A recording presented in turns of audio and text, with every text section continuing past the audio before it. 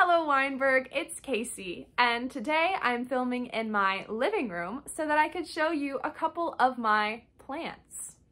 Now, I don't know that much about plants. I've re very recently gotten into plants. This is my fiddle leaf fig, of course.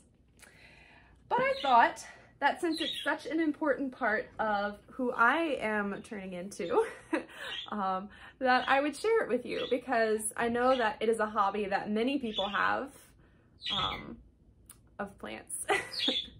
so I just wanted to show off a few. All of these were out on my porch earlier. They were out on my porch all summer. Um, but it started to frost and so I thought it was time to bring them in. So anyway, that's just a little bit about me and the interests I have besides just being a musician. now, for today's music moment, I'm going to be playing the piano and I'm going to be playing uh, the Brahms Lullaby as well as a contrasting piece, The Happy Farmer by Schumann. I hope you enjoy.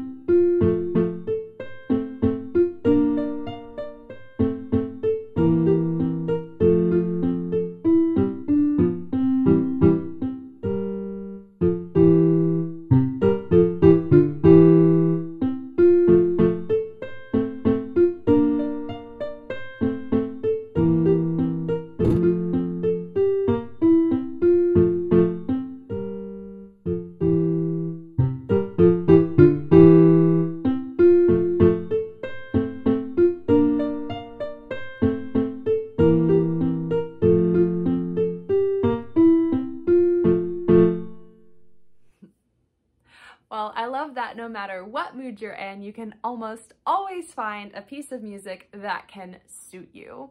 Be it a nice relaxing mood like Brahms or a chipper mood like Schumann. if you have a piece of music you would like for us to play, then please feel free to send us an email at earsengaged at gmail.com.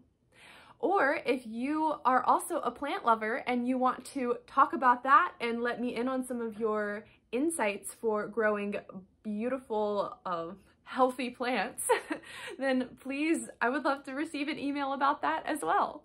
Uh, we lo just look forward and love hearing from you.